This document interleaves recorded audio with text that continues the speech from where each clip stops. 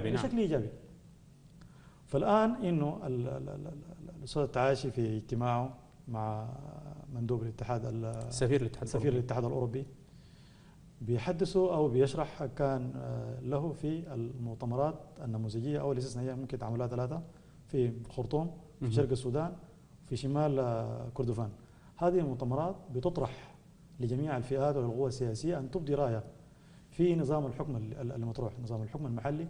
هو نظام دقيق ومتشعب لأنه لابد من المشاركة السياسية لجميع الفئات المجتمع لماذا؟ لأنه أي آه، إخصاءات لمجموعات محددة أو رفع مجموعات محددة بيعيد لنا مرة أخرى إلى مربع الاحترام إلى مصدر الداخلي الاحتراب الداخلي وتفجير الأزمات وكذا فلا بد من صناعة نظام حكم محلي فيه مشاركة واسع واسعة الصلاحية الصلاحية ومشاركة مش واسعة مشاركة واسعة وفاعلة.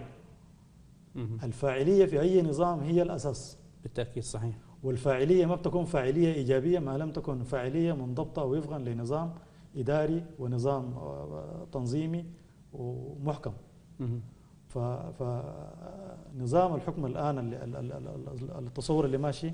هو تصور غير محسوم إلى الآن في طور التداول ونتمنى الله سبحانه وتعالى إن المتداولون من جميع الفئات أن. يصلوا إلى ملامح حكم محلي يحفظ الدولة السودانية ويحفظ تماسكها. ويحفظ حقوق المشاركة العادلة لجميع فئات المجتمع